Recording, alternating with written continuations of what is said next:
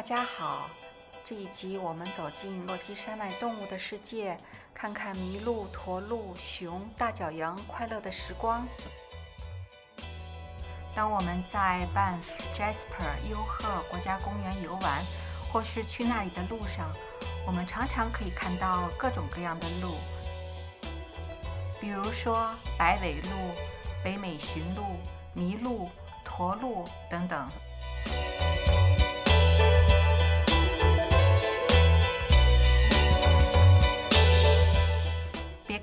天里它们文文静静、慢慢悠悠的样子，晚上开车遇见它们的时候要格外的小心，因为它们非常喜欢和疾驰的车赛跑，非要超过车，然后在车前横穿马路。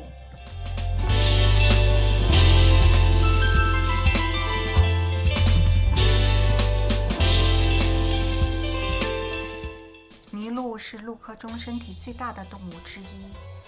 雄性麋鹿，它的大犄角每年都会脱落，然后再长出新的鹿角。它们一般栖息在森林和森林的边缘，以草、植物、树皮、树叶为食。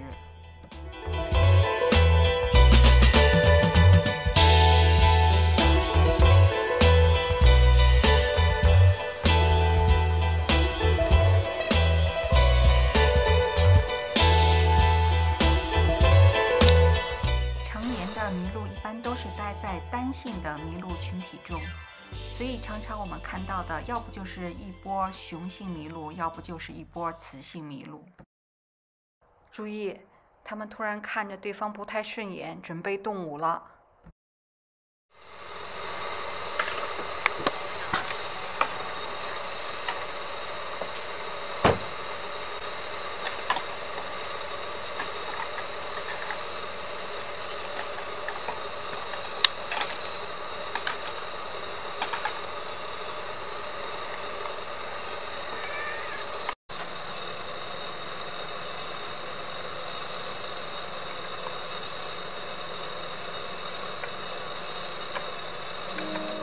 以前一直纳闷儿，鹿的小身板如何抵御加拿大冬天的寒冷气候。后来才知道，它们到了秋天，身体里会额外长出浓密的毛发来抵御严寒。驼鹿通常是独居动物，而且动作非常的缓慢，属于那种能坐着就不站着。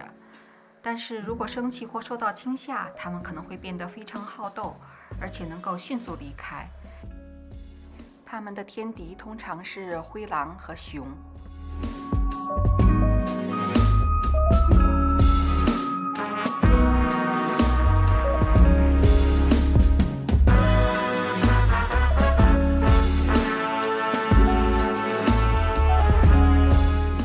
别误会，现在放的是快动作。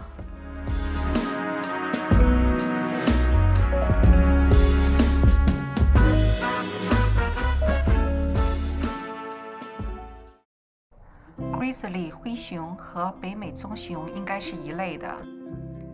在落基山脉，除了黏着妈妈的小熊以外，灰熊、棕熊通常都是独行侠。如果在路上看见了熊妈妈带着小熊，要格外的小心，因为妈妈会担心小熊的安全，误以为你要攻击它们，而首先攻击你。看这母子俩的神态一模一样，还真有点心灵感应的意思。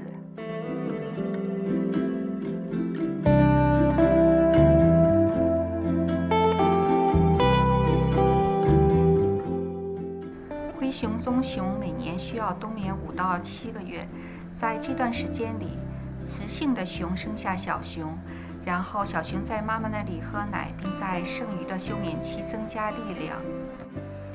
为了准备冬眠，灰熊必须准备好一个巢穴，而且吃大量的食物，因为在冬眠期期间，它们不吃东西，而且也不排便排尿。它们需要增加一百八十公斤的重量，用以未来的消耗。然后它们会在巢穴前等待大雪，有了大雪的掩护，就可以减少捕猎者找到它们洞穴的机会。它们的洞穴通常是在海拔一千八百米以上朝北的斜坡上。落基山脉的灰熊一年里有一半的时间都得待在巢穴里。那么沿海的灰熊条件就好多了，因为它们有更多的食物来源，所以在巢穴里花的时间就可以少很多。而且还有一些地方全年的食物都非常的丰富，灰熊就可以完全没有冬眠。看他们准备过马路了，注意安全，一停二看三通过。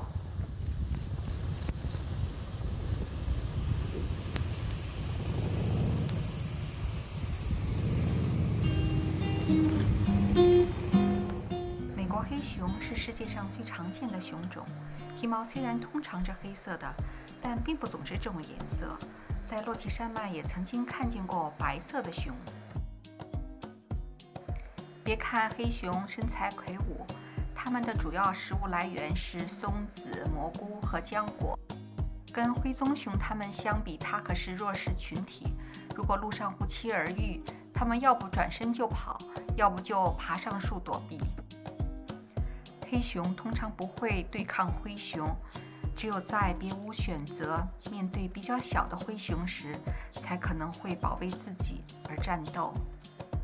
在2013年，CBC 曾经报道过，半幅的一个棕熊吃掉了一个黑熊。大角绵羊以公羊所携带的大而弯曲的角命名。其实母羊也有角，只是它们的角比较的短，而且弯度比较小。由于大角羊无法穿越深雪，所以它们更喜欢干燥的斜坡。它们非常善于攀登陡峭的地形，并在那里寻找掩护，躲避它们天敌的捕杀。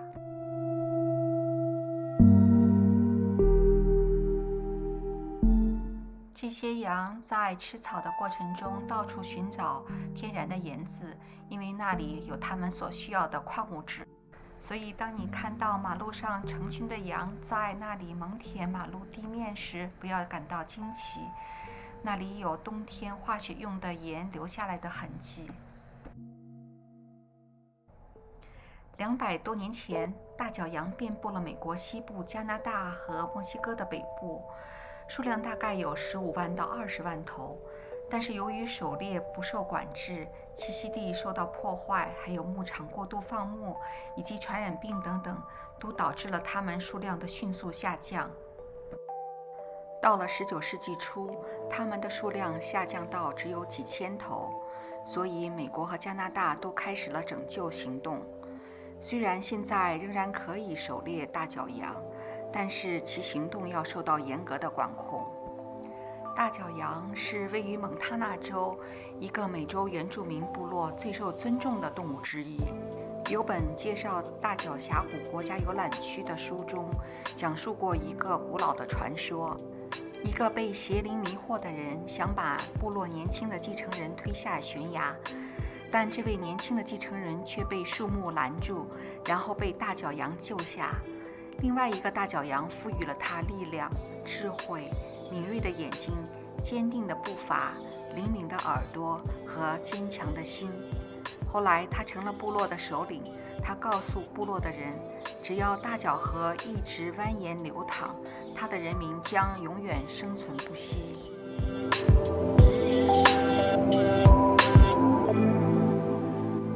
关于大角羊还有很多奇闻异事。我会专门做一集影片来分享这些。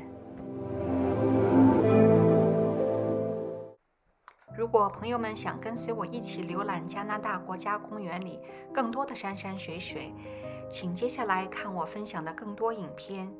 下一集我们一起看看从卡尔加里开车到 Jasper 的路上有哪些必须停下来一看的美景。也欢迎朋友们转发点赞，谢谢大家。